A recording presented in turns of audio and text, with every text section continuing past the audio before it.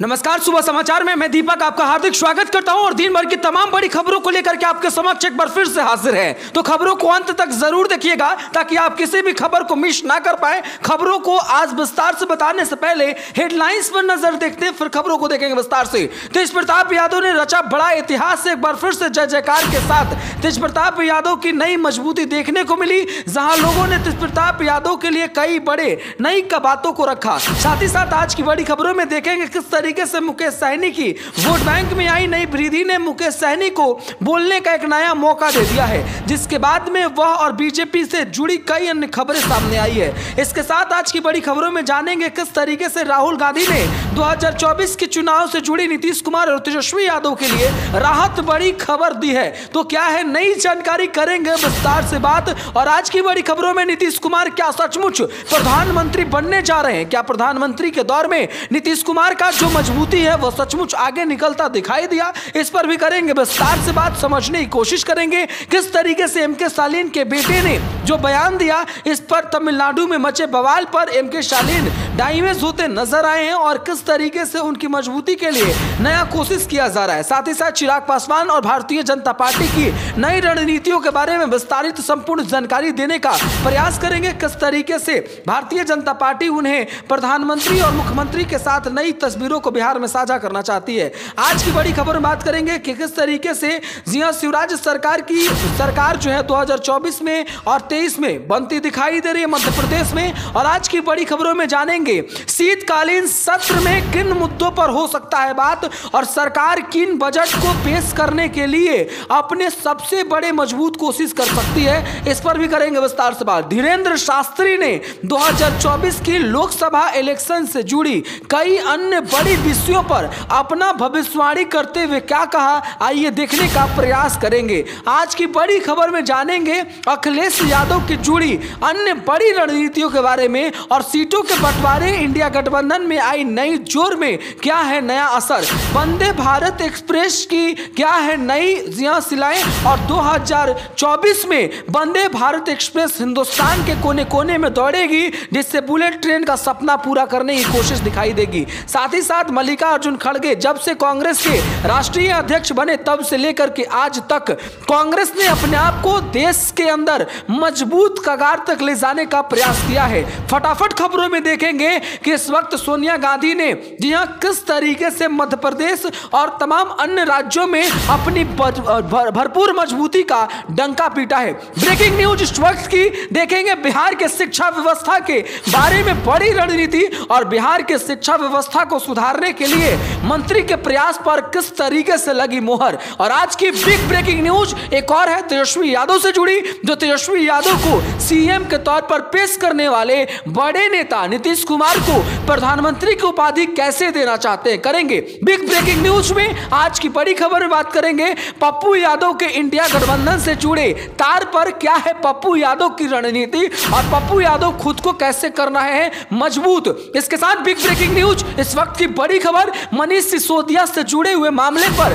CBI के पास कोई आधार नहीं कि क्यों किया गया मंत्री को गिरफ़्तार। सलाखों के पीछे डालने का वजह बताया जाए। बिग ब्रेकिंग न्यूज़ में आज की खबर के माध्यम से जानेंगे, ममता बनर्जी की टीएमसी ने कोलकाता समेत देश के अंदर कमाल करते हुए नई तस्वीरों को साझा कैसे कर दिया है? फटाफट बिग ब्रेकिंग न्यूज़ में देखेंगे, आम आदमी पार्टी के नेता अरविंद केजरीवाल से जुड़ी कई अन्य बड़ी विषयों के बारे में और मध्य प्रदेश समेत अन्य राज्यों में जीत की मजबूती क्या दिखाई दे रही है? आज की बिग ब्रेकिंग न्यूज़ बड़ी खबर सामने आई है। इस वक्त ललन कुमार सिंह समेत तमाम जेडीयू के नेताओं को झटका देने के प्रयास में आरसीपी सिंह की नई तस्वीरें बिहार से सामने निकल करके आई है। बड़ी खबर इस वक्त के मुख्य समाचार में बात करेंगे कि किस तरीके से राजस्थान मध्य प्रदेश और तेलंगाना जैसे राज्यों में चुनाव के पास तक पहुँची, क्या है नई खबरें और जनता क्या कर रही है अपील? आज की बिग ब्रेकिंग न्यूज़ में बात करेंगे, नीतीश कुमार की मज़बूत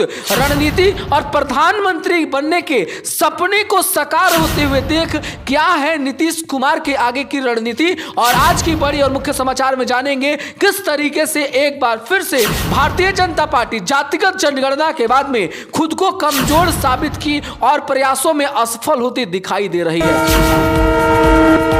आइए शुरुआत करते हैं आज की सबसे बड़ी खबर से। बिहार में तेजस्वी यादव ने जातिगत जनगणना कराए जाने के बाद में खुद को मज़बूत कर लिया है, जिसके वजह से देश के प्रधानमंत्री बनने के लिए नीतीश कुमार को आगे प्रेरणा देना और अपने आप को मुख्यमंत्री बनाने के कवायद में जुड़ जाना, यह तेजस्वी यादव के लिए बड़ी समझदारी का विषय भी था। तेजस्वी यादव ने खुद को समझदारी के तौर पर आगे बढ़ाया और यादव समुदाय के अच्छे खासे वोट बैंक को अपने आप में समेटने की तैयारी करनी भी शुरू कर दी, जिसके आधार पर तेजस्वी यादव को मिली नई मजबूती ने 2024 के अंदर खुद के लिए एक बड़ा प्रयास करना शुरू कर दिया है। दोस्तों, अगर आप भी तेजस्वी यादव को सपोर्ट और समर्थन करना चाहते हैं तो इस वीडियो पर आज पाँच हज़ार लाइक की उम्मीदें करते हैं तो लाइक ज़रूर कर दीजिएगा। निकलकर सामने आ रही है इस वक्त और खबर यह है कि आज एक बार फिर कांग्रेस ने नए राष्ट्रीय अध्यक्ष के साथ खुद को मज़बूत किया है, जिसके वजह से इसकी सरकार तेलंगाना, मध्य प्रदेश और इसके साथ ही साथ राजस्थान जैसे राज्यों में, छत्तीसगढ़ जैसे राज्यों में दोबारा से बनती दिखाई दे रही है। इन राज्यों में कांग्रेस ने देश के लोगों का ध्यान केंद्रित कर रखा है, जिसकी वजह से सेमीफाइनल के इस मुकाबले को वह दिखाना चाहते हैं। देश के लोगों को यह भी बताना चाहते हैं कि देखिए, चुनाव का मुद्दा विशेष तौर पर यही होना चाहिए जो इस बार होने वाला है। विशेष तौर पर लोगों का ध्यान केंद्रित कर यह बताने की प्रयास हो रही है कि हम मुद्दों पर बातें करेंगे, विशेष तौर पर बातें करेंगे और जितना कैपेबिलिटी हो सकती है, उतना ज़्यादा प्रयास करते हुए देश के नागरिकों को मज़बूत करने का हम सभी बड़ा प्रयास करेंगे। तो एक बार फिर से मज़बूत कगार की मजबूती देखने को मिली। खबरें निकलकर सामने आ रही है इस वक्त।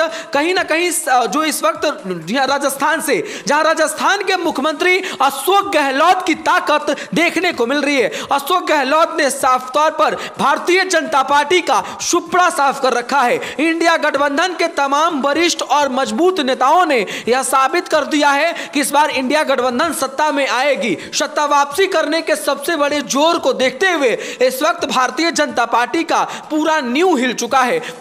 2014 में भारतीय जनता पार्टी ने जिस साम्राज्य को खड़ा करते हुए देश के लोगों के सामने खुद को समर्पित किया था, वह साम्राज्य भी ढीला हो पड़ा है। इस साम्राज्य के तमाम बड़े बड़े योद्धा धराशाही होते चले जा रहे जिसकी वजह से राजस्थान की कुर्सी भी डगमगाती नज़र आई है। अशोक गहलोत ने कहा है, भारतीय जनता पार्टी को रोक देंगे और सत्ता में आने से रोकने की बातों को कहकर मुस्कुरा रहे थे, जिसके वजह से राजस्थान में भी कई नई सरगर्मियाँ तेज हो गई है।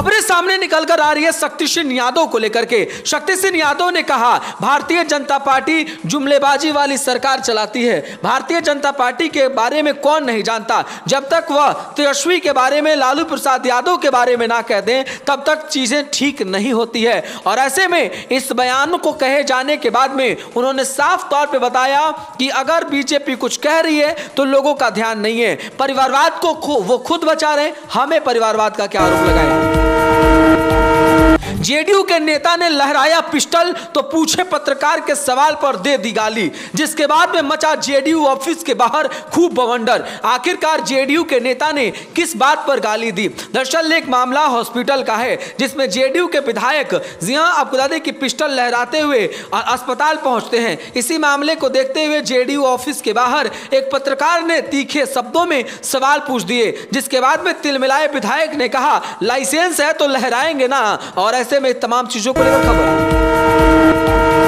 एलपीजी सिलेंडरों की कीमत में कमी आने की उम्मीदें हैं। चुनाव में फिर से बली का बकरा एलपीजी सिलेंडरों से लेकर के महँगाई को कंट्रोल कर और देश के अंदर अपने आप का ढोल पीटने का खूब नाटक रचा जाएगा। लेकिन अब इस ढोल पर कोई थिरकने वाला नहीं है, क्योंकि सभी को पता है, चुनावी मुद्दा बस चुनावी मुद्दा ही रह जाता है। चुनावी एजेंडे कुछ समय के लिए होते हैं, सरकार बनने के बाद में भूल करके और लगातार इसकी कीमतें आसमान की ऊंचाइयों पर ले जा करके रख दी जाती है। जहाँ संघर्ष करते हुए आम जनता को पहुँचना पड़ता है।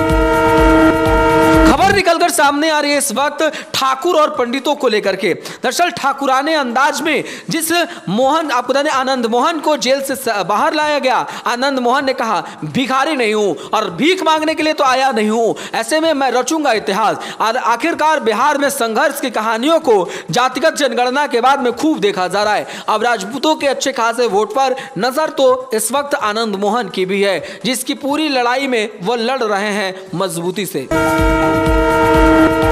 बड़ी खबर निकलकर सामने आ रही है। इस वक्त ज्योतिनाथ सिंधिया को लेकर दोस्तों मध्य प्रदेश की लड़ाई में एक बार फिर से भारतीय जनता पार्टी के वो नेता, जिन्होंने कल जिया कांग्रेस को छोड़ करके भारतीय जनता पार्टी का दामन थामा था, उम्मीद ऐसी की जा रही है कि यह नेता फिर से एक बार कांग्रेस को थाम लेंगे, कांग्रेस के बाहों को मज़बूत कर देंगे, जिसके वजह से मध्य प्रदेश में पुनः एक बार फिर से सरकार बन सकती है। खैर, अपनी राय और विचार भी कॉमेंट में लिखी दीजिएगा, आप क्या सोचते हैं? इस वीडियो को ज़्यादा से ज़्यादा शेयर कीजिएगा और चैनल को सब्सक्राइब कीजिए।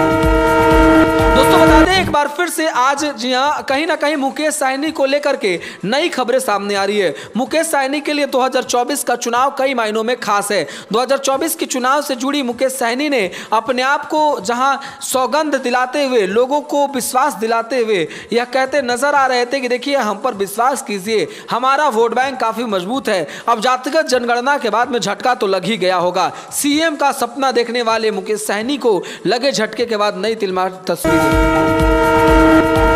बड़ी खबर निकलकर सामने आ रही नीतीश कुमार को लेकर के। जेडीयू के तरफ़ से नीतीश कुमार एक सचमुच प्रधानमंत्री के बड़े उम्मीदवार के तौर पर हैं, जिनकी चर्चा अक्सर की जाती है। जिनकी चर्चा करते हुए ना तो हम थकते हैं और ना ही आप सुनते सुनते थकते हैं। अब खबर ऐसी है कि क्या सचमुच किसी बवंडर के नए तस्वीरों को साझा किया जाएगा? किसी नए बवंडर की नई तस्वीरों के साथ आगमन की स्थिति को उत्पन्न की जाएगी? नीतीश कुमार ने साफ़ कर दिया है कि उनके लिए 2024 काश है और ऐसे में वह इतिहास बदलने के लिए काफ़ी मज़बूत और धरातल पर आगे बढ़ करके प्रयास करेंगे। आपकी क्या अपील बड़ी खबर निकलकर सामने आ रही है इस वक्त।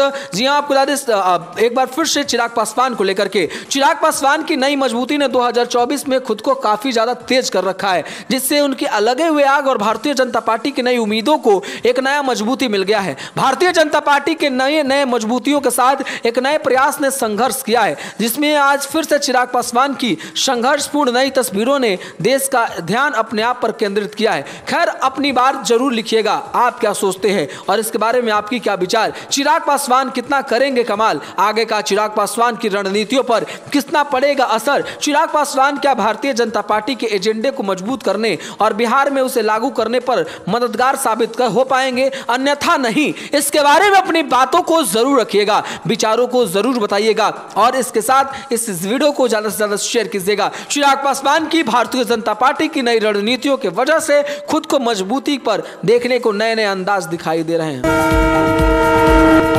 बड़ी खबर निकलकर सामने आ रही है इस वक्त, और बड़ी खबर यह है कि भारतीय जनता पार्टी ने शिवराज सरकार को इस वक्त बहुत बड़ा जी ताकत दिया है। शिवराज को मिली मजबूती के बाद में सीएम की उपाधि के साथ अब इस वक्त शिवराज मामा का नाता लोगों से जोड़ते नज़र आ रहे हैं। और वह कहते नज़र आ रहे हैं कि मामू के खजाने में पैसों की कमी नहीं। आप जुड़ जाइए ना, आप कहीं ना कहीं काम पर ध्यान दीजिए, और इस बार भी भारतीय जनता पार्टी का सरकार बनाइए। अब सरकारी जिसकी भी बने आगे चलकर।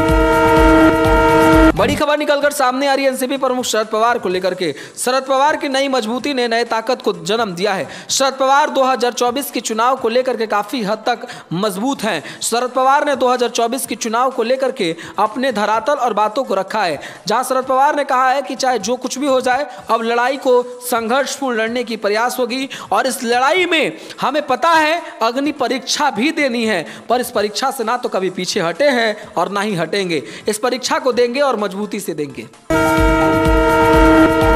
बड़ी खबर निकलकर सामने आ रही है इस वक्त, और बड़ी खबर यह है कि वंदे भारत एक्सप्रेस 2024 का सचमुच एजेंडा होगा और मुद्दा भी होगा। इस चुनाव में इसको लेकर के खबरें सामने आएगी। जहाँ लोगों को बताया जाएगा कि देखिए, हमने तो जो किया है वो किसी ने नहीं किया। और इस बारे में बताते हुए लोग खूब झूमेंगे। खैर, अब तो बात वक्त की है, वक्त वक्त की सभी खबरें हैं, लेकिन अब वंदे भारत एक्सप्रेस को लेकर के जो खबरें सामने आई, वो हमने बड़ी खबर निकलकर सामने आ रही है। इस वक्त भारतीय जनता पार्टी जातिगत जनगणना के बाद में खुद को कमज़ोर महसूस करने के बजाय और ज़्यादा शक्तिशाली और ताकतवर मज़बूत कर रही है। जहाँ बिहार के प्रदेश अध्यक्ष से लेकर के बिहार के तमाम छोटे बड़े भारतीय जनता पार्टी के कार्यकर्ता नेता लगे हुए हैं, वह विधानसभा चुनाव से लेकर के लोकसभा चुनाव तक ना तो बैठने का निर्णय ले लिए हैं। तो मानो एक बार फिर से अब वह कहीं ना कहीं इतिहास बनाएँगे बिहार में बड़ा रचेंगे इतिहास।